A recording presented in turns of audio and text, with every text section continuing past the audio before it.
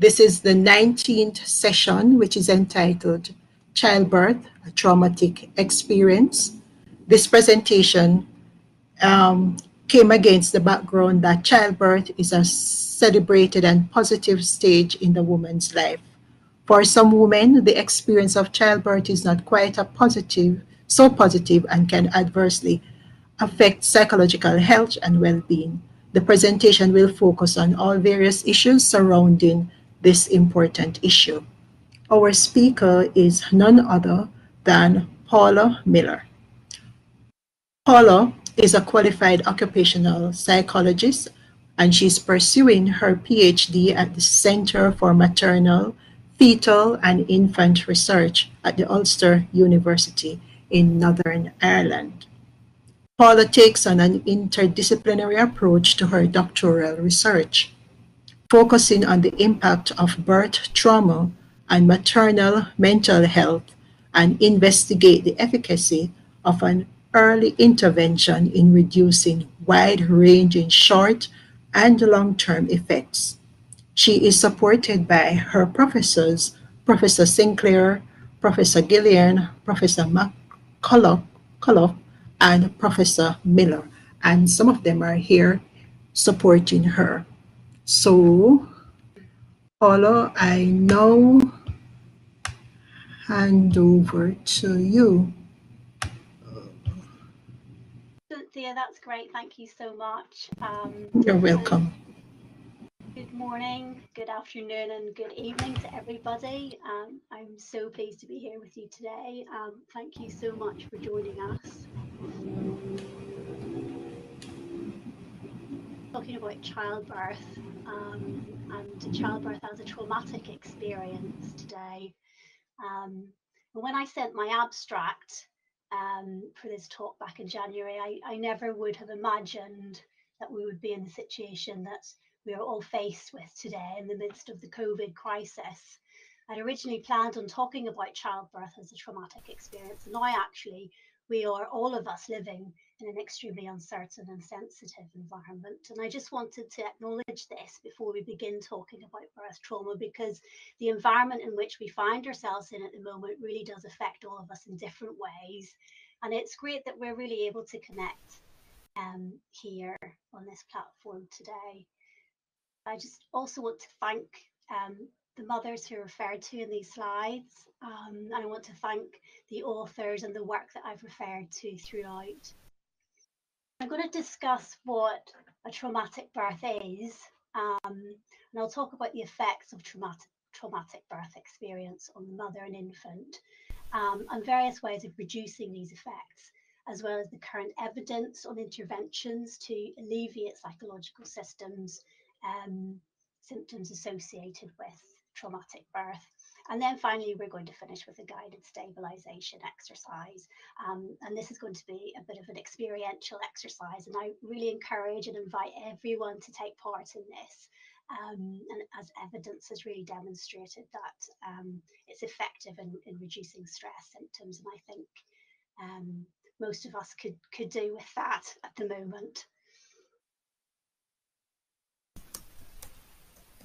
We're just going to start off with a little poll. Um, just want to find a little bit about what your level of knowledge of perinatal mental health issues surrounding birth trauma is. Um, so if you could um, please click A, B, C or D. No knowledge, introductory knowledge, intermediate and advanced.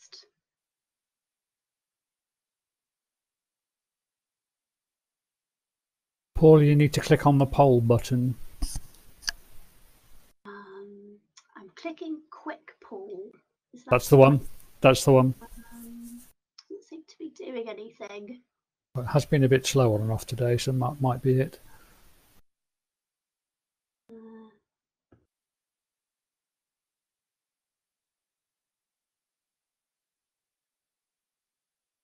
you might have Oh well, you'll have to scroll. I think you'll have to scroll through the chat to get a, a feel for it. Then I'm afraid. That's okay. Uh, looks like we have a quite a mix. Um, introductory, mostly introductory and intermediate. So that's great. That just gives me a little bit of an idea um, of, of where we're at.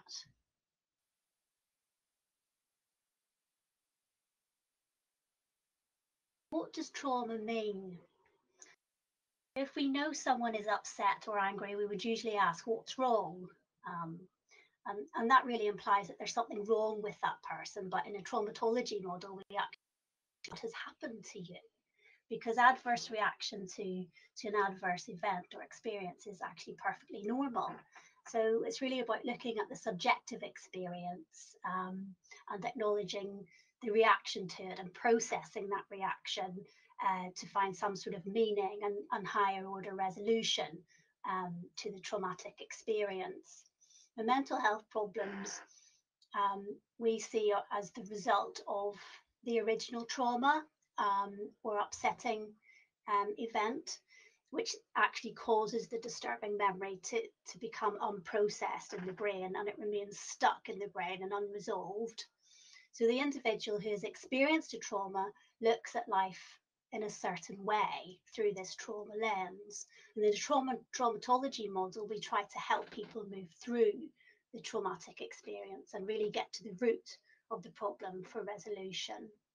Um, so how do we process information in a, in a trauma model? Um, information is processed through the brain. Um, I don't know if anyone has heard of the MacLean's triune model of the brain. Um, I'll, I'll, just do talk a little bit about that. Um, so we, we have the primitive brain, which is otherwise known as the reptilian complex, and this is the system of the brain. Um, it's the, the cerebellum basically connects with the brain stem back of the brain and it's responsible for the most basic survival functions so we're looking at body sensations, responses, um, the automatic functioning of the heart rate, breathing, body temperature. Um, and, and so these areas of the brain perform really important unconscious activity. Um, we don't know about it, we're not aware of its performance. Um, so, for example, if we touch um, an object which is really hot, um, our hand will automatically move away from it. And that's our primitive reptilian brain um, in action. It's really fast, quick, unconscious sort of evaluation of sensory stimuli. Um, and it's the automatic instinctive response to it's a fear response.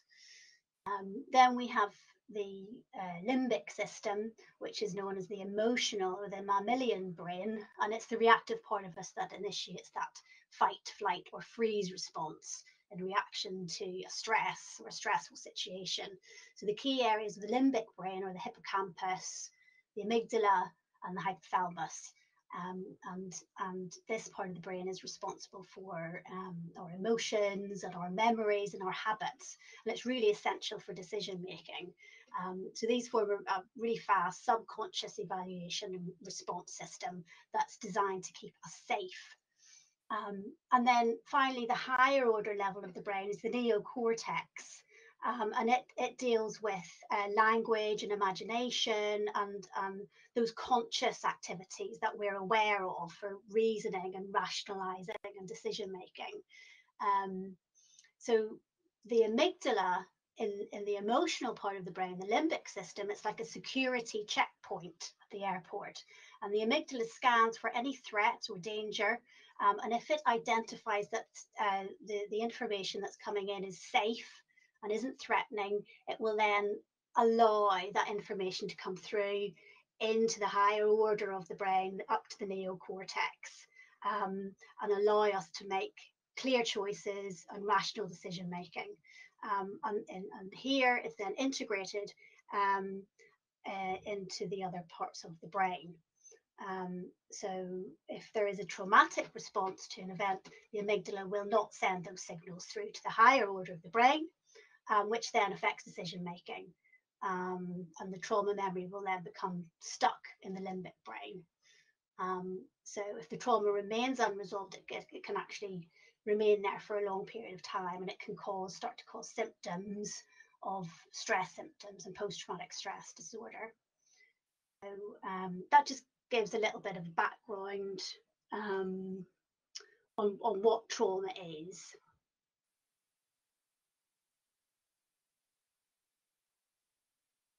So how do we associate trauma with such um, an amazing life event, giving birth? Um, I mean, look at that picture, it's just so adorable. The creation um, of a new life and, and giving birth to offspring is an incredibly amazing experience for a woman um, and, and also for those witnessing it. And uh, Donald Winnicott, uh, he, he is a pediatrician and psychoanalyst. Um, he was especially influential in the field of object relations theories and, and developmental psychology. Um, and Winnicott realized um, his famous quote, no such thing as an infant. And it really highlighted the fact of the baby's dependency on, on parents and, um, and how um, the baby's sense of self really is dependent on the parent's emotional state.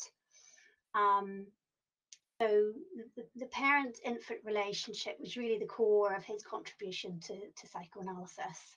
And actually, if the mother or the father experience a trauma, that, that will directly influence the child. Um, and similarly, if a community in which that child lives in experiences a trauma, again, this will affect the family, the child. And if we zoom out the town, the city, the country, if the world, as we are at the moment, experiences a trauma or a humanitarian crisis, um, then the child will also be affected in, in a whole systems theory. Um, so what can we do? Um, especially during these un, uncertain and difficult times. Um, we'll we'll go through a stabilization exercise later on um, that you might find helpful in your own self-care routine um, as with midwives um, and as of course students and researchers. Um, if we just move on to what what is a traumatic birth? What exactly is it? Um, so I have a few definitions here. Um, definition offered by NICE, um, which is the National Institute for Clinical Excellence. Um, traumatic birth includes births, whether preterm or full term, which are physically traumatic, and births that are experienced as traumatic even when the delivery is obstetrically straightforward. So it's the perceived experience of the birth, um, which is which is seen as being traumatic, and that's perfectly plausible, as well as the physical uh, trauma experienced. Other authors, there are various um, different uh, explanations of traumatic birth and birth trauma. Greenfield here says it's the emergence of a baby from its mother in a way that involves events or care which cause deep distress or psychological disturbance, which may or may not involve physical injury, but results in psychological distress of an enduring nature. Um, and Penny Simkin uh, who is the co-founder of PATCH, that's the Prevention and Treatment of Traumatic Birth. And Penny says that a birth is said to be traumatic when the individual believes that the mother or her baby's life was in danger, or that a serious threat to the mother's or her baby's physical or emotional integrity existed.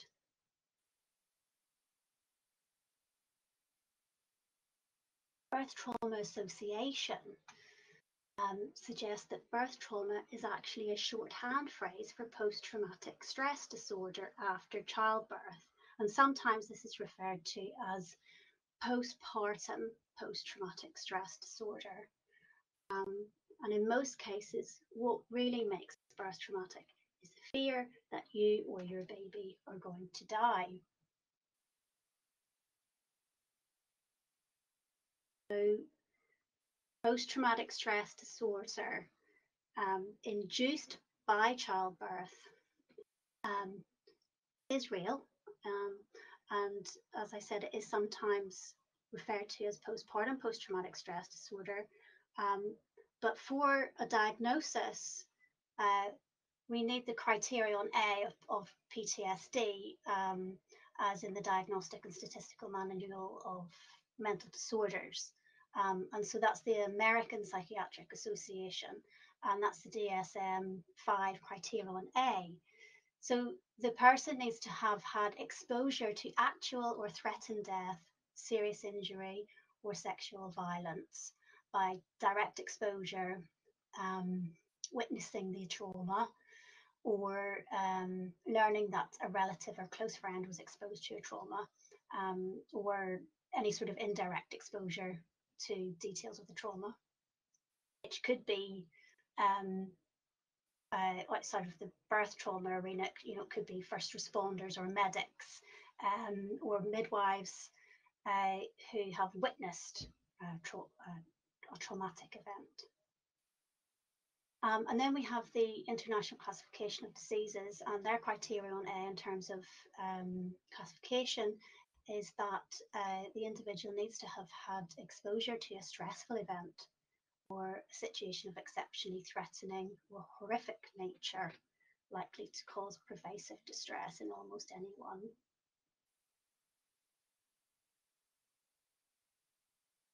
This is a quote um, by uh, a lady with lived experience of post-traumatic stress disorder following childbirth. I had a traumatic birth. I was so petrified that my son would die that in my head it was easier not to love him just in case. So we have uh, symptoms which are specifically uh, related to PTSD following childbirth, um, um, and uh, that, that includes re-experiencing um, and reliving aspects of the trauma um, that's intrusions, um, alterations in arousal and reactivity, so uh, hypervigilance, difficulty in concentrating.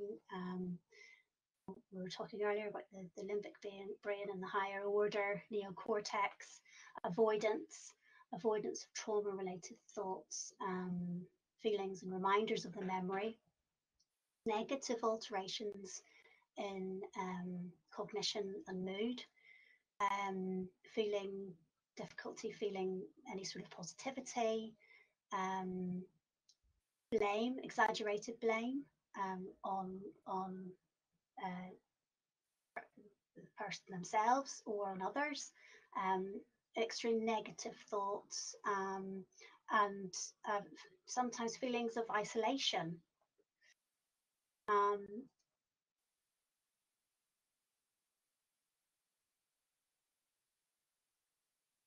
these are some examples of um, negative thoughts and cognitions that can arise from a from a traumatic birth.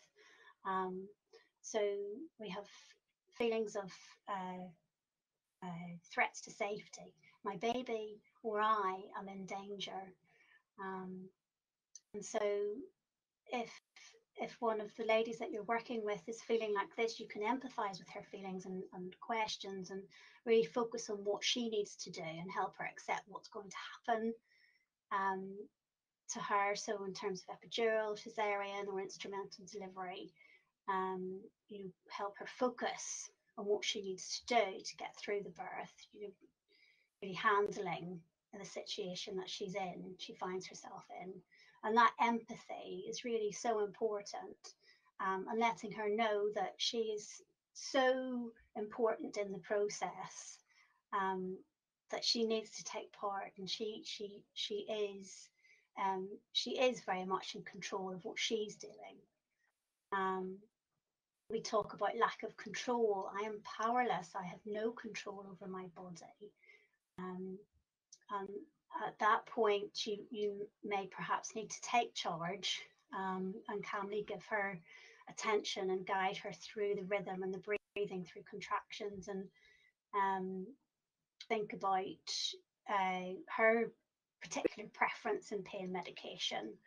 Um, and if she prefers to avoid medication, um, perhaps it's you know it's a good idea to be, before the birth have some sort of a code word um, to to say if a labour is going to be too long or difficult, and she, she might want to change her mind and she really wants pain medication. Um, and so that means that she can really she can complain um, without people misinterpreting her complaints as request for medication. Defectiveness. I'm a bad mother. I was not good at giving birth. Um, and really, in, in that instance, you know what you can do, you can assure the woman that really all births are so very different, and she worked as hard as she possibly could throughout birthing um, her child, and um, make sure that she knows what she did do well, um, and give her some sort of positive feedback on any aspect of her birth.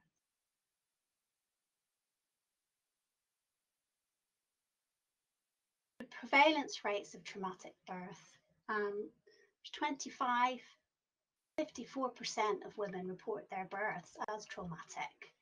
Um, and but a small percentage of those go on to develop post-traumatic stress disorder. There's a lot of variability in those figures because um, of the variability in the populations that have, have been assessed.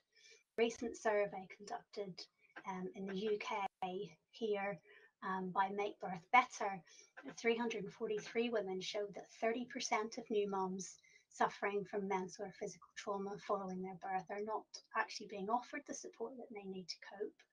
75% felt that they didn't get the support they needed following a traumatic birth experience. Um, and a survey of 332 maternity and mental health professionals reported that 63% um, felt that the main barrier to birth trauma prevention um, is lack of knowledge. 62% said that birth trauma skills was the most reported training need by staff at the moment. Um, well, that was 2019.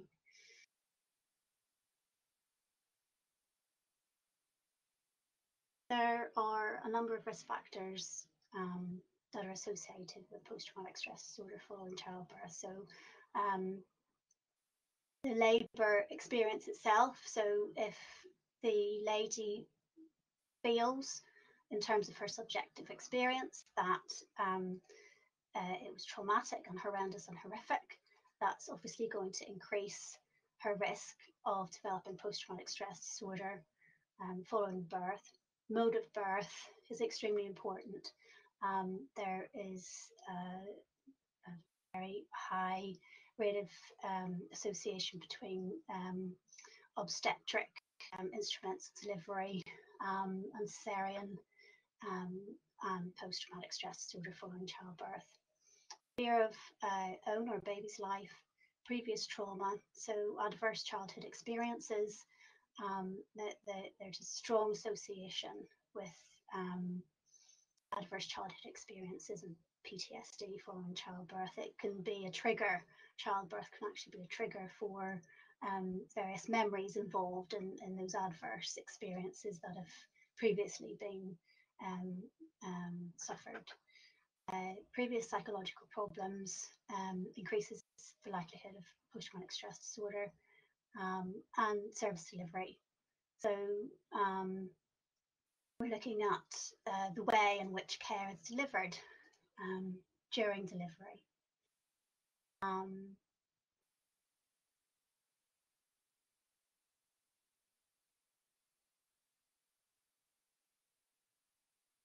So the NICE clinical guideline, which has been updated February 2020, suggests that um, during birth, healthcare professionals should be understanding, um, and afterwards they should offer women advice and support if they would like it.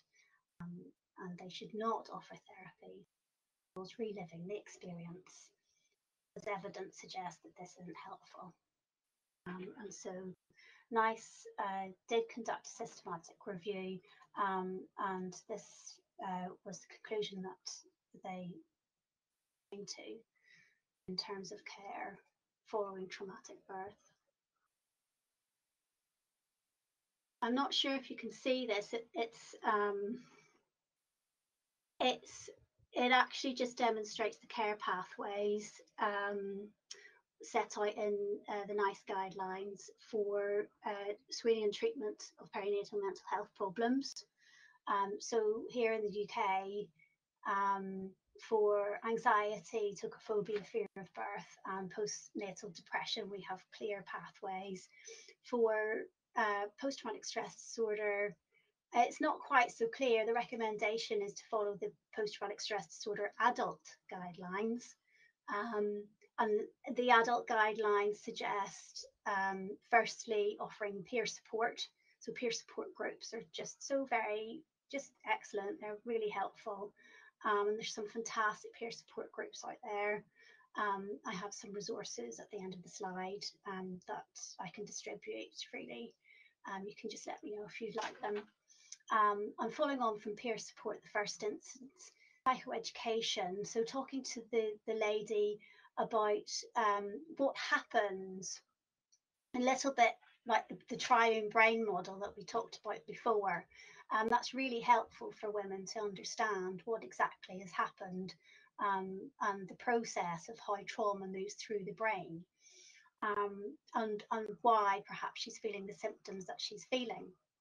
Offer flexible modes of delivery, so prevention within one month if symptoms of post traumatic stress disorder or acute stress disorder with CBT, narrative therapy, prolonged exposure therapy. But one of the things with that is that um, we, we don't want to offer any sort of therapy that involves reliving the experience. So prolonged exposure therapy perhaps isn't ideal for a, a woman who has experienced a traumatic birth. After one month, offer all of these therapies, it says, NICE uh, suggests, including EMDR. And EMDR is eye movement desensitization and reprocessing.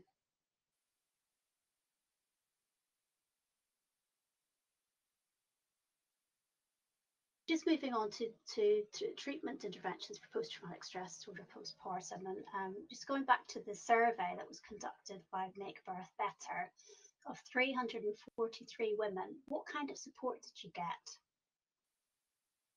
Um, and uh, so here we see uh, debriefing 31%, health visitors for listening visits 9%, um, community mental health team 15%, 10% of women were referred to a different mental health or psychological therapy service, and 9% were given advice on a different option. Um, and if you were referred for therapeutic help on the NHS, what kind of therapy did you have?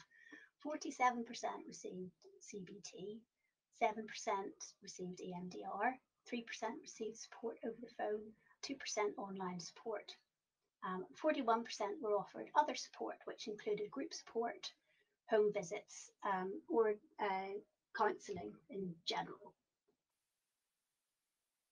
Um, when women were asked, did your treatment resolve your mental health suffering? 13% of women said their trauma was resolved. 54% said to a certain extent, and 33% said that their trauma was not resolved. So uh, this data really demonstrates the need um, to have a good look at the current system and, and what is being offered to women. Interventions actually are in preventing, treating and resolving women's mental health suffering as, as, as a result of trauma. The midwives were also asked what would most enable you to feel more confident in preventing, recognising, managing and treating birth trauma and 332 responded. 59% felt bespoke training for their own service. 9.9% wanted access to birth trauma related resources. 55% identified that access to special advice would be helpful and 62% wanted specific skills like grounding techniques. So here we have um, a, the International Society for Traumatic Stress uh, Studies, um, and they have suggested um, for, as a result of, of um, evidence-based guidelines, the most highly effective standard treatment um, is trauma-focused CBT um, and EMDR for post-traumatic stress disorder. Aware of the time, so I'm just moving through the slides. And current treatment interventions for PTSD postpartum Um, so looking at the evidence from systematic reviews, there is really inconclusive evidence in terms of debriefing and whether debriefing is actually effective in reducing symptoms. Some studies have, have demonstrated um, a, a, a, small effect um, in terms of reducing symptoms, um, and some have have not demonstrated any effect at all. Um, other psychological interventions um, that have demonstrated an effect for reducing symptomology um, are expressive writing, midwifery-led counselling, EMDR, cognitive task following birth, um, and they demonstrated that the symptoms did reduce, but they did not prevent or treat the occurrence of clinically diagnosed post-traumatic stress disorder. When we're working with clients to process trauma, it's it's not a mechanical process of following a set of instructions or a routine type of therapy or intervention. And one of the most important aspects of the treatment is actually the presence of the therapist, the counsellor, or the midwife, or um, the healthcare professional who is delivering the intervention. Um, and Rogers, uh, he, he, his uh, famous quote is really the, the fact that what is the most important element of any therapeutic relationship is unconditional positive regard. And what does that mean? Jerome Frank, um, he talks about what makes an effective therapy. Um, and he suggests an emotionally charged relationship, a therapeutic environment, and a rationale that provides an explanation for symptoms, a procedure to resolve those symptoms. And Professor Miller, uh, his model of Céal, which is a Gaelic term and it can be translated as victorious people, um, which uh, we'll just work through. The, the first aspect is connect and con connection um, between yourself and the woman um, in terms of allowing the woman to be vulnerable in a really safe environment in a safe way can encourage the lady to ask questions and talk about possible alternatives for birth. Affirm that connection between your woman and, um, yourself is, is just so important. Supportive relationship, that, that upholding and defending her whenever she needs you to advocate for her and offering her emotional support and encouragement throughout the birth. Really acknowledging how your lady is feeling and explaining what's happening and, and what's really needed to correct um, the situation if it needs to be corrected. And, and that reassurance is so important for her.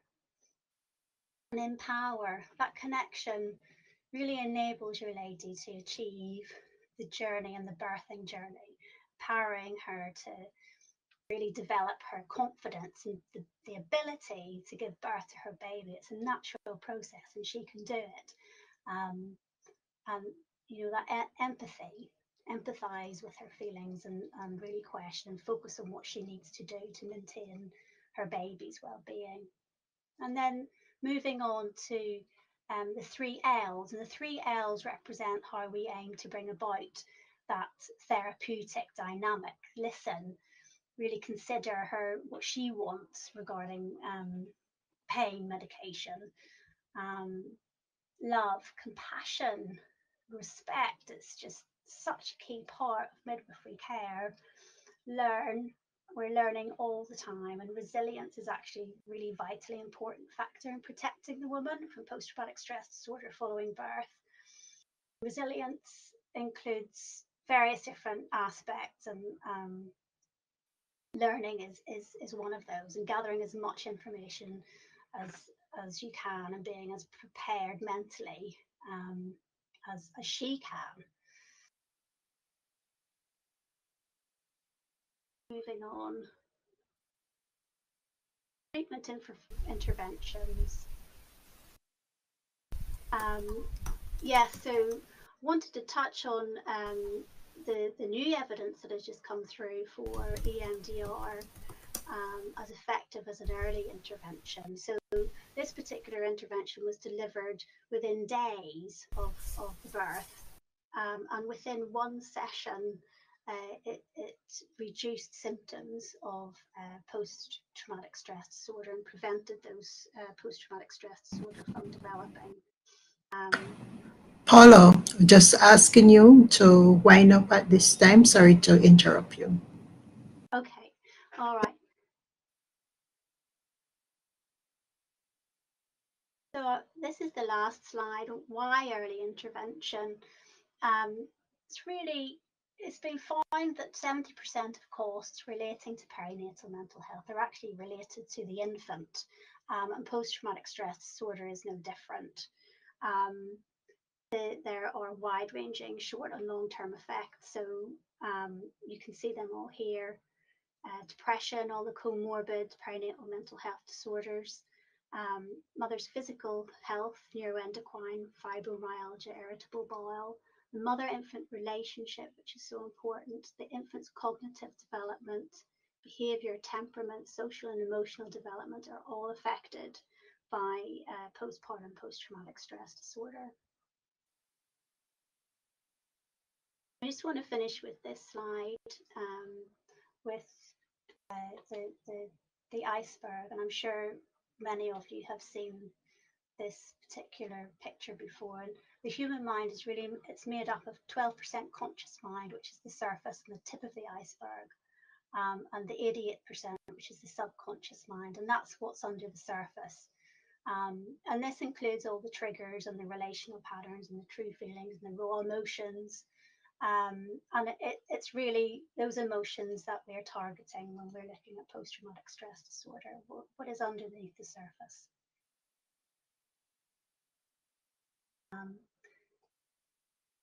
I just want to say thank you so much for joining me today.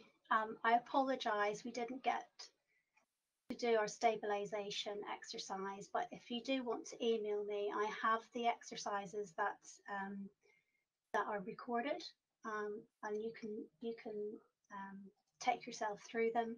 They are really helpful, and I would encourage you um, and invite you to to um, to do those in your own time. Thank you so much for coming. And happy day of the midwife. Thank you so much, Paula. So Paula, I've come to the end of her presentation and I see where we have a question, Paula. Um,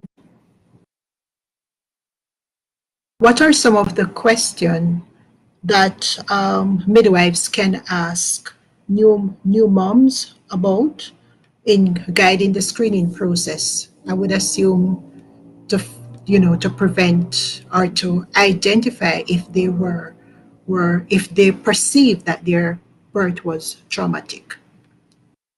How do we go about doing that? Yes, that, that's a really good question, Cynthia. Um, well, firstly, uh, if we're looking at post-traumatic stress disorder, um, there needs to be the, the criterion A.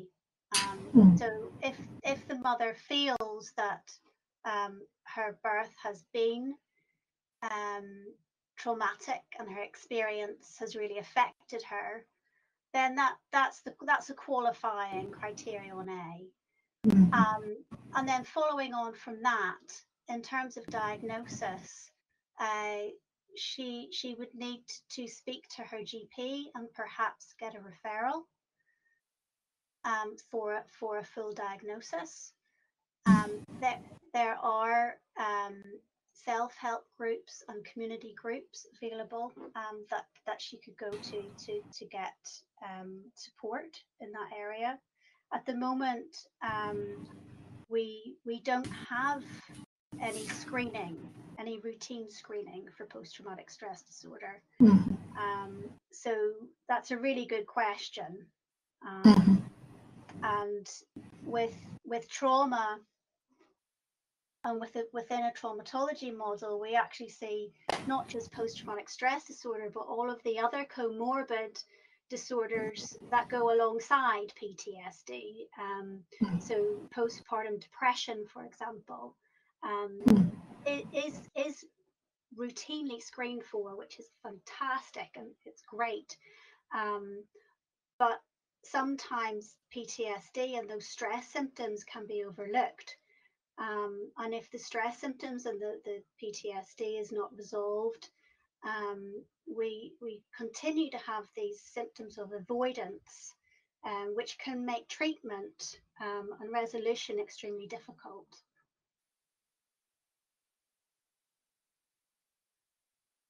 Does, does that answer your question? Um, I, we have a lot to do in terms of uh, screening and identifying um, symptoms following traumatic birth, um, and it's it really as as as midwives, it's really important to advocate for women um, who have experienced a traumatic birth um, in terms of really getting the correct diagnosis and also the correct treatment.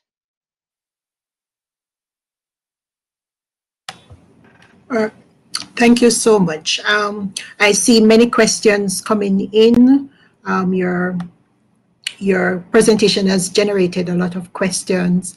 Unfortunately, we are not able to take any more questions, but I just want to say that um, persons are asking for your email, so you could put that in the chat if it's okay with you, and we will continue. All right, so congratulations. Thanks so much, Cynthia.